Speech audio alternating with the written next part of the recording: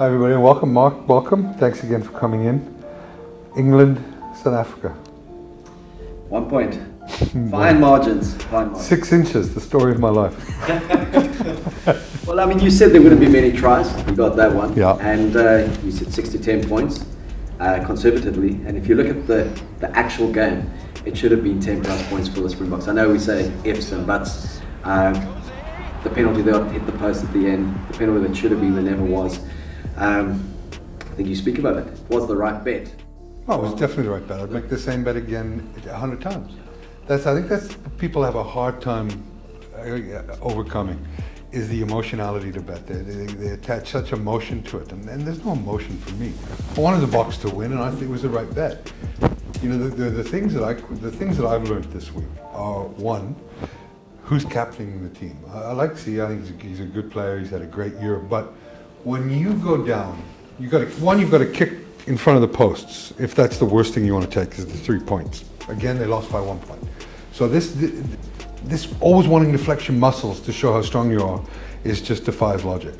It, you, it, if there's a kick in front of the poles, take it. But but if they didn't do that, why not take the scrum? You've got you've got a second row, the, the, the number four that's just been sin binned. You've got complete dominance in the scrum up uh, early on in the game. You take out the second row, and you're going to do you're going to have a penalty try probably, but you're easily going to push them over, and they decide to go for touch. Who? uh, That to me is just inexcusable, and, and, I, and I can't wrap my head around the logic. I thought the game management was very poor, and you've got Siya Kolisi, Duane Vermeulen, and Warren Whiteley, three Springbok captains, and Yeah. you had Eben Etzebeth, Springbok captain, Yeah. uh, in the second row. So that leadership group would make that decision. You know, it's not just No, one player that yeah. makes it, No. but you also don't know if it was predetermined uh, by the coaching staff, by Rassie, to say you don't kick for post, you go for the corners. I'm a believer, I always have been in, in scoreboard pressure. Uh, in a test match, especially when you're playing away from home at a place like Twickenham, 3, 6, 9 becomes 12, they start chasing the game. Yeah. The more they keep you out somehow through your own uh, inaccuracy, when they should be 15 points down and it's 8 6, you give them that self belief, which happened in that test match. We never buried them. I thought we didn't really play, even though we had all that dominance in the first half.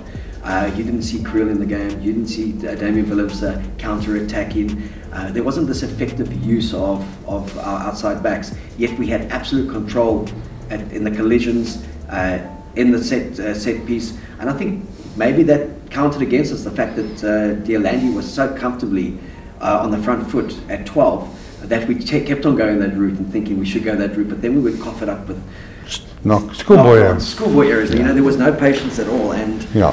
Boks were a better team. They had that dominance, and uh, you know they, they'll look at that video and think, how were they not 15, 10, 15 point winners?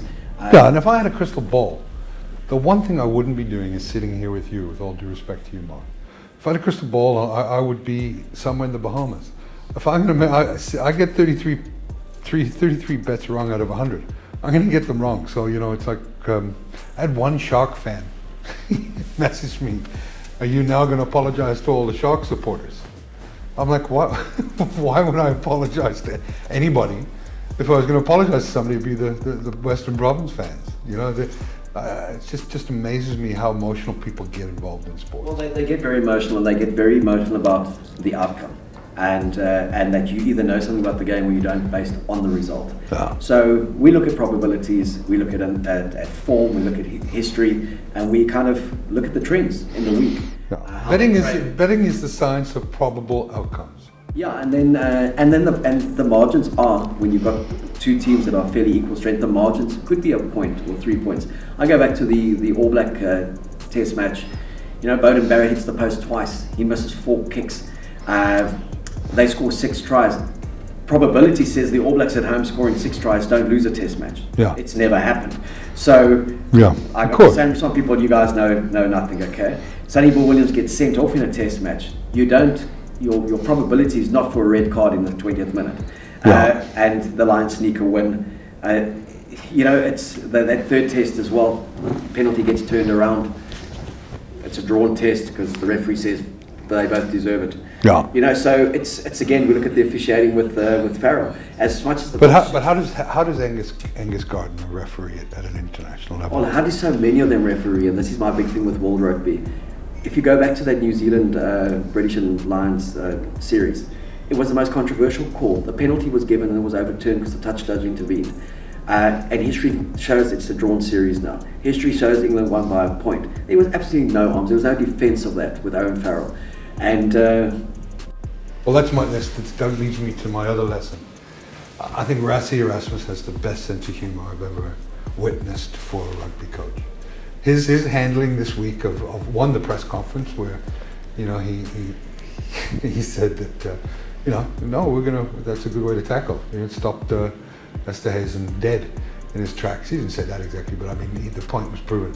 And then that tackle bag video, I, I, I can't remember laughing that, that hard. And I think what he highlighted in that when how low Estros went, middle he went, just how high the third one was, Yes. and how illegal it was, and just not leading with an arm, but leading with the shoulder. What people tend to forget with the Farrell thing is, if he had coming from the other side with his left arm, that's fine, and the shoulder makes contact. But there was never an intent to even put his, his arm. No. out. It was worst case scenario, just a straight up penalty.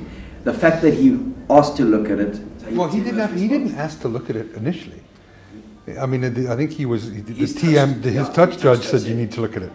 And then, and then it was almost as if he, he had a bet on the game himself. He, he said, no, I've seen it, I'm happy with it. Yeah, and How- when you look at Come it, on. it just becomes worse and worse the more you look at it. I've never And- seen such a short amount of time taken to, in making that decision, in making a decision like that. It was disgraceful. And, Well, he, and he has been a disgrace. He was a disgrace in Mendoza. He wasn't particularly good even at, at Loftus, okay, in the way he managed the game. I don't think he's a very good referee. No. And the big gripe I have with World Rugby and the governing bodies is there's never accountability to referees. There's never consequence. So if he makes a mistake, axe him. Uh, but you can't say this is a professional game that has integrity when too many human error decisions are allowed yeah. to kind of go unpunished.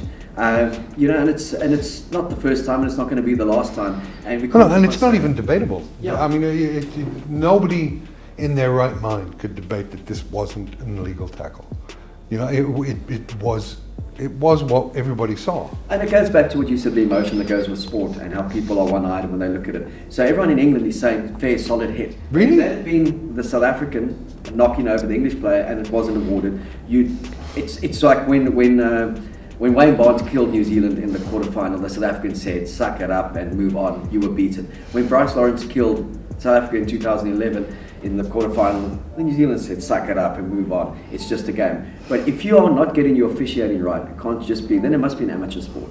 If you're going to be a professional sport, commands massive sponsorships, determines livelihoods of people, you can't have that human error uh, you can't allow it to prosper, and so have such an easy disregard for it. And um, and I, you know, I think. Uh, you know, Look, he, the thing with Gardner, sorry, Mark, is that he never asked the opinion of the, the, the video referee. Never asked for it. Now, what, what is that guy there for? yeah, and I mean, his view from the from the field on a big screen, which is 100 meters away, Yeah. where the other guy's looking at it from every angle, they can tell him that according to the law, he broke every law there. In terms Yeah. of, there was no arm. But Gardner didn't want to hear that. He didn't want to hear. it. He No. he, I, he's comfortable that he made an, and, and his his, No. his intent wasn't malice, and he made an effort. So now So we're, we're in agreement. Dickhead of the, of the week was Gardner. decade of the year has been Gardner. You Okay. know? And again, it really just it was a dishonest call from a referee at the most critical juncture. Yeah. Now, before all the millennials out there fall asleep, because you know that their attention span isn't that great, um, let's, let's move on to this week. France, South Africa. Paris, the city of love, it will be kind to us. South Africa to yeah, City of Love. Um, for me, three and a half points is the spread. Again, the Boks, uh, a thousand rand on the Boks to win by four more. France are two wins, one draw, and 12 losses in the last 15 games. They lose, they're conceding 30.75 points a game and scoring about 18 over that 15 game period. The one draw, interesting, interesting enough, was against Japan um, at home, 23-23 I think it was. And um, And Japan had the chance to win it with the last kick of the game. Yeah. So that could have been another defeat. yeah, so uh, yeah, you're right. And, and um, the, the, France is just not good enough. As, as we talked about earlier on, they're eighth and ninth in the world in rankings. Um, they don't have. I think you you telling me you phoned one of your friends in France and asked them how how's it going to go and. Yeah, I spoke to the editor of uh, rugby editor of L'Equipe. Uh, millennials won't know what that. And uh, it's it's the French Sporting National Daily, and I said, "Are you going to win on Saturday?" He said, "No." Emphatically, no. what kind of question is that? I think people also give France such a regard because they've knocked over New Zealand twice in World Cup history. And, you know, they've, they've beaten New Zealand 12 times out of 61, they, yeah. yet they call uh, they New Zealand's bogey team. I would say maybe New Zealand's their bogey team because uh, New Zealand yeah. 49 of them. We've we've knocked them over so much. We won six in a row, we, we, we, and we are particularly good when we play in Paris. We seem to enjoy that city, enjoys the start of France, and it's got that wonderful resonance to 2007 where we played World Cup semi-final and final there. And we had that fantastic group win against uh, England, 36-0. Hmm. As you said, I think the Bok team is a, is an improving team. They're a good side. They need to just understand attention to detail, the basics, have a bit more patience in their game. And if they're patient in Paris and they play with the desperation that they did at Loftus and in Wellington, uh, they should win comfortably by 10 points plus. Yeah, I, I think that as well. Um, 10 points plus, but um, you never know. it's a funny shaped ball. But that's my bet. A thousand rand to, to win back 1900 that South Africa win by by four or more points. Uh, next game, England versus New Zealand. Yep, the most anticipated game a year ago when England were riding high 18 in a row. They tried to change that Barbarians match to make England against uh, against New Zealand, New Zealand and uh, Eddie Jones and them all said New Zealand's not as good as they think, though. And Steve Hansen said, "Thank God, we've got another year to practice to get it right." Uh, it seems to be a little bit of a non-event because every, in the sense that everyone's talking Ireland, New Zealand a week later. But there's also something special about any visit to Twickenham uh, to play against the old enemy. And even though they've only won seven out of 41 against the All Blacks, it's been rare that the All Blacks have gone there and smashed them. It tends to be this very messy six to 12 points. yeah. Dan Carter came out and he said, comfortable, 12 points. They're too fast for England. He said they're too conditioned and they won't stay with them in the last 15 minutes. But, but the problem with that is that, that, that, that, that some, some rain predicted all day for Saturday and Friday and Sunday, uh, typical London weather. So that is a bit of an equalizer in terms of in terms of uh, the advantage that the All Blacks would have on a clear, sunny day. There is, and uh, again, so the two factors I'd look at there would be guaranteed New Zealand's going to get a card during that game at some stage, and Beauden Barrett, as well as he's kicked, he's kicked 11 out of 12 in the last three Test matches. If it's raining at Twickenham, you know, I wouldn't put too much confidence in Beauden Barrett kicking six out of six when it really, really does matter. It, he's shown a bit of vulnerability against the Boks in that Lions series where he missed crucial time. So I saw in the papers people were saying he's getting an unfair tag of not being able to kick under pressure, but he's he has shown uh, frailty in big moments. And the other times when he kicks so well, the team's been up by 15, 20 points. The pressure's not quite there. So I still have the All Blacks to win, but yeah. but I don't think it's going to be as convincing as uh, as a lot of people think. 20 points plus. Hmm. I think they will battle a bit. Uh, the England pack is a much more improved one, and with Courtney Lawes back, uh, than the one that played against against us.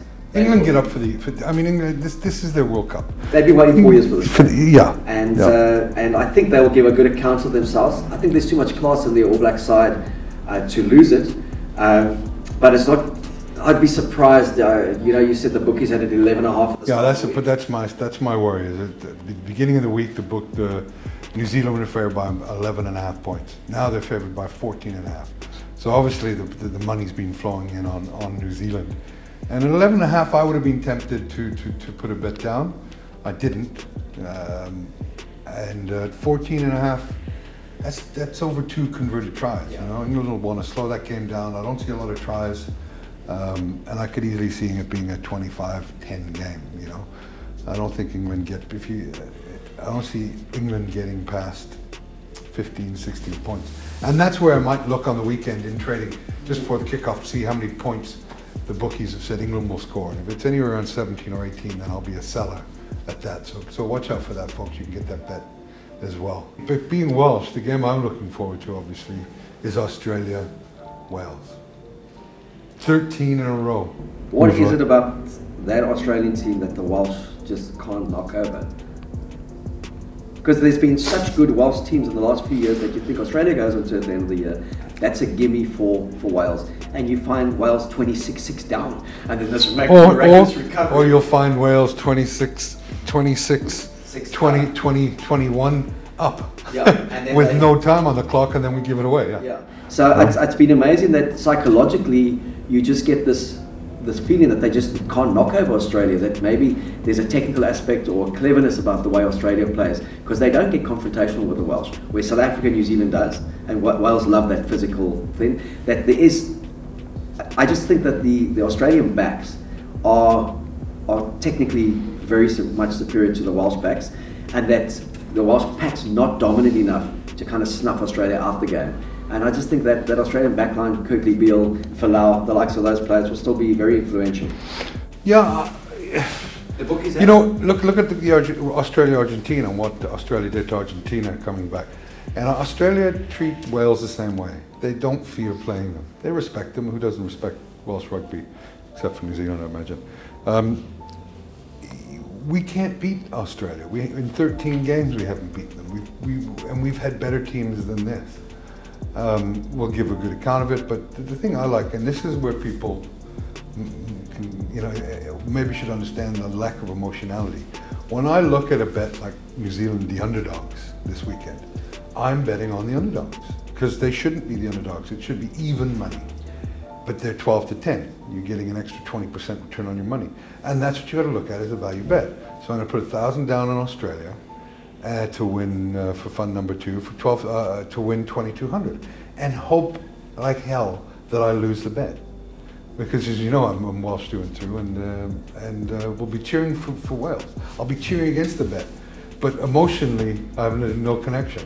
At least if I if, if Wales win I, I can celebrate. And if they don't then I make a bit of money on, uh, on the side. But, uh, and that's where you've got to divorce you know, um, if you if you're a real punter and you want to learn how to punt, you know, you can't say, "I'll, I'll never bet against the Boks." Well, I'll never bet against this.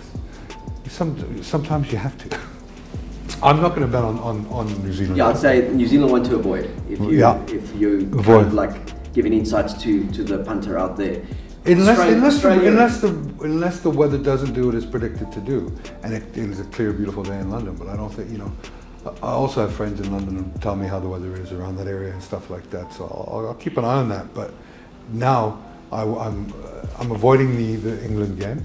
I'll watch it as a spectacle, as, as, as, I love sports. Uh, the Boks by four or more, and that'll be a tough game. I, you know, it's I don't know how like last week, I was incredibly confident that the Boks were going to win by 10 plus, 6 to 10. This week, I don't know, four. Four is a good handicap, but South Africa should come home.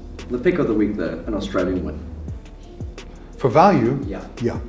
But to me, the, the, the more certain in terms of, I think that the, the, the France are uh, not a good side. South Africa are an improving side.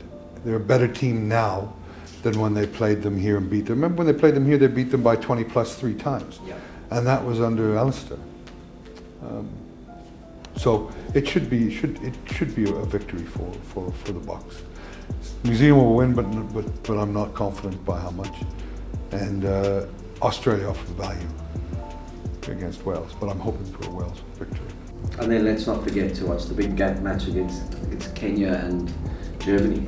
Angus Gardner's got that one. Does he have that one? so he should have. Can they, really? I didn't even know that. I mean, I'll see if there's, I don't think there's any betting on that. But yeah, no, no, I'll, I'll be glued to the set. Thanks, Yeah. Thanks, Mark, and thanks, everybody. Cheers.